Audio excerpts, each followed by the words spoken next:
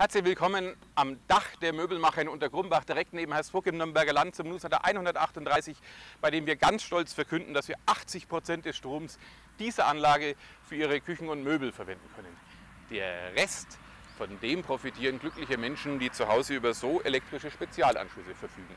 Es ist wieder ein kleiner Schritt in Richtung Nachhaltigkeit und zu ihrer ökologisch perfekten Einrichtung, aber das alleine macht ein Möbel noch nicht schön oder funktional, weshalb wir Ihnen zwei gelungene Eichenküchen auf unserer nagelneuen Homepage als Beispiele vorstellen.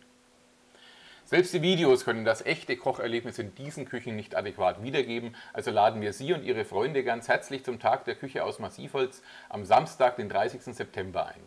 Besuchen Sie uns einfach zwischen 10 und 17 Uhr zum Zuschauen oder Mitessen oder melden Sie sich für den Kochworkshop um 10.30 Uhr an, bei dem wir diesmal zusätzlich zum Schwabhofer Weideschwein und dem Hutangerrind erstmals auch die glücklichen Gockel vom Demeter Geflügelhof Schubert gemeinsam gar köstlich sous braten oder schmoren werden.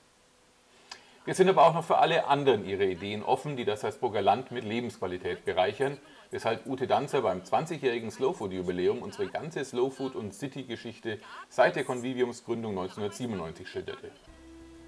Dazu zählen wir jetzt auch den Pausenraum des Hotels zum Alten Schloss in Kledorf, für den wir gemeinsam mit Hans und Conny Heberlein ganz viele Gedanken und viele funktionale und flexible Möbel gemacht haben.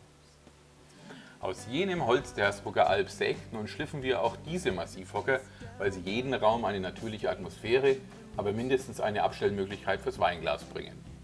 Mit einer Yoga-Übung unseres Untergrumbacher Schwarzstorchs wünschen wir Ihnen noch einen schönen Restsommer und freuen uns auf Ihren Besuch am Tag der Küche oder wann immer Sie dafür Zeit haben. Bis bald!